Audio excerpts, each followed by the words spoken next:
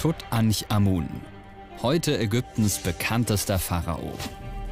Den Thron besteigt er als Kind, vor rund 3300 Jahren. Er stirbt jung und ist schnell vergessen.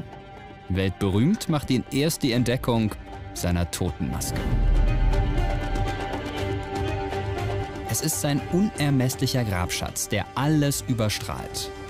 Wer er war, ist nur wenig bekannt. Im Land am Nil will ich dem Menschen Tutanchamun näher kommen. Ich möchte seine Familiengeschichte verstehen.